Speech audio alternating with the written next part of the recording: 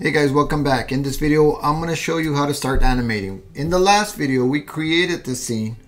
Uh, we drew out all the elements, the stairs, the ball, um, the seesaw, the cup, everything. And now in this video, we need to uh, start animating. So the very first thing that I'd like to do is animate this ball. Uh, I've selected it here in the in the uh, layers. I can right click and go insert or create a motion tween and it turns it into a yellow.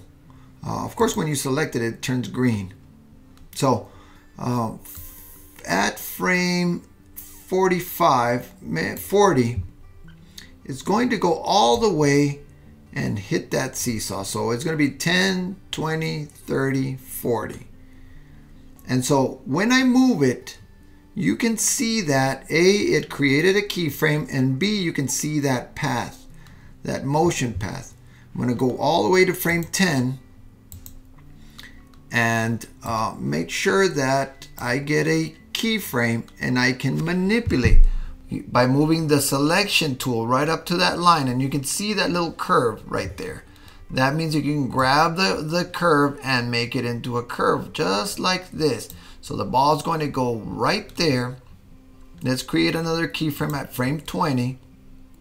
I'm going to move the ball to where it goes right there. It creates a keyframe and move the cursor right to that uh, line and manipulate that line right there. Again, to frame 30, I'm to move that ball where it needs to go. And then grab the motion path and manipulate it. Lastly, at frame 40, I'm going to put my cursor right up to that path and then manipulate it so that I get my last bounce. But I'm going to make another bounce at frame 45. I'm going to push it to here to the floor. And it already uh, is a, is a uh, bounce. There's already a bounce. And so there it is. If I hit play, you can see that it bounces this way. Now I would like to see that ball rotating. So what I'm going to do is I'm going to double click on that ball. I'm going to go to frame one and I am going to zoom in on it and double click on it to go to its own timeline. And I'd like to rotate it within about five frames. We need to create a keyframe right there. So let's insert a keyframe, insert a keyframe right there, this first button, and then rotate it. There. Uh, frame three, insert a keyframe, and continue to rotate. Frame five, I mean, sorry, four, insert a keyframe, continue to rotate it. Frame five, insert a keyframe, continue to rotate it. And then frame six, insert a keyframe, and we'll, we're back at there. And so it's gonna rotate in six frames. If you go back to the scene, click on the scene, go back to the scene, you will see this ball rotating because it's playing what's inside the graphic. If I double click on it, you will see its own timeline. So this timeline is playing out in the scene timeline as the ball moves. So let's see the whole thing. Command 2 and hit play.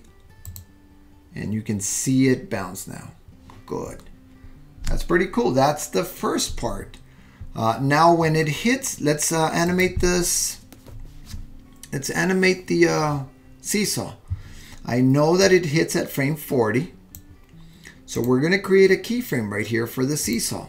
There it is. In this seesaw, we're going to do a classic tween. So easy. Um, from, from 40 to 45, it's going to rotate down. So I'm going to create another keyframe and rotate it. Rotate it about right there. And then click between the two keyframes and insert a classic tween. So now it'll rotate. you know what? It might be a little too slow. So I'm gonna just gonna move this keyframe over so that it uh, it's a little faster. Boom. And then and then it's going to go back. Let's create another keyframe right here. Insert a keyframe. Boom. And then it's going to go back right to there and then click between the two keyframes right click and create a classic tween. And then lastly let's create another one insert a keyframe click between them and then create a classic tween. And so this one we just need to rotate it. We just need to rotate it back to its original spot right there. So you can see it when it hits it play. Boom. Again. Boom. Uh, this ball, we will, as soon as it hits this at frame 40, this ball has to jump out. For this ball, we're going to create a uh, motion tween. But before I do, I'm going to copy this layer, right click, duplicate layers. I'm going to have this one. And this one, I am going to move this to here. So this will be my static ball right there. This is going to be static. And then this one will be animated. I'm going to move this keyframe over to here. And so as soon as this one, this one can um, be animated, we're going to create a... Uh, motion tween on this one. By frame, let's say frame 50, I am going to move it to in here. And then I am going to manipulate this motion path like that. And so let's see it. It hits it, boink. There it is. And there it is.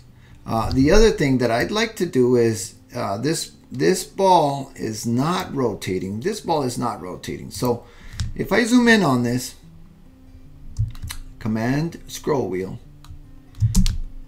the spacebar for the hand, double click on it, it's got no animation. So we're going to do exactly what we did with the red ball. Uh, let's go ahead and select the whole thing.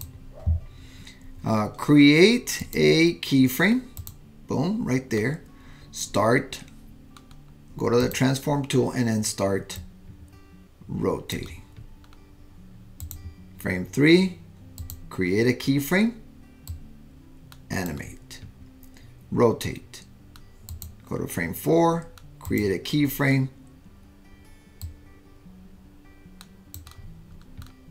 Rotate. Go to frame 5 create a keyframe, rotate. And we're just going to do it in frame five frames. Let's look let's look at T, go back to the scene and boom. I like how it rotates as it going in, but I just don't like it rotating um, before the action. So on this one, on this keyframe, uh, let's look at its properties, at this graphic properties. This is the graphic. This is the blue ball. Down here, uh, this one, uh, this is the looping for the action here. And we're not going to loop it. We're going to do, uh, play a single frame and we're going to just pick that first frame. That way it's still, all the way still until we see that one rotating. Command 2 to see the whole thing. Hit, uh, let's hit the loop. Drag out the end all the way to the end. Drag out the, uh, the beginning of this loop all the way to the beginning of the scene. Hit play. Boop. And there it is.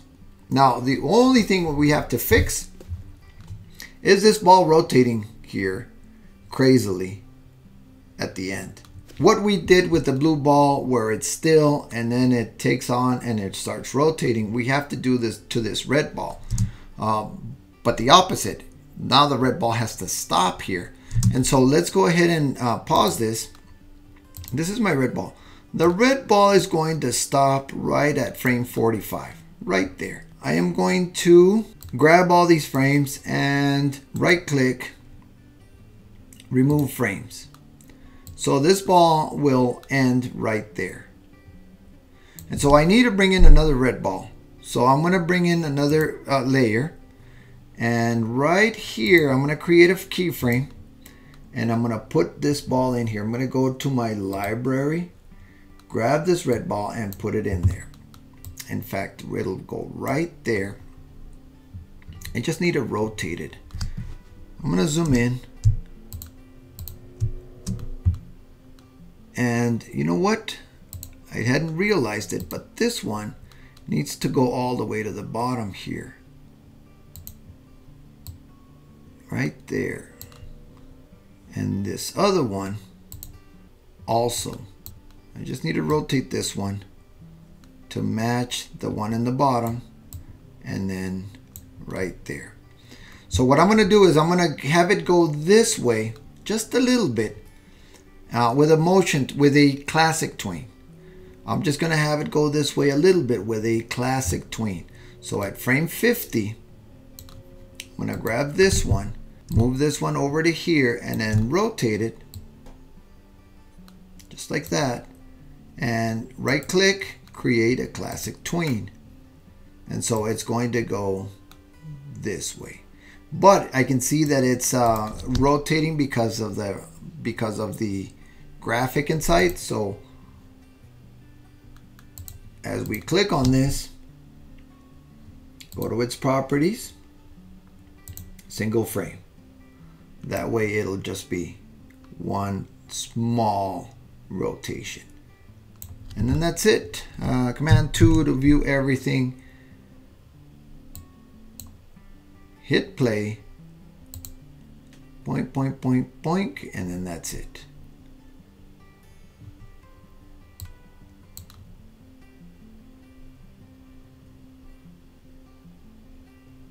And that's it. That's all the animation. Um, I hope that you liked this video. If you liked the video, go ahead and hit the like button and subscribe. And I will see you on the next one. Thank you, guys.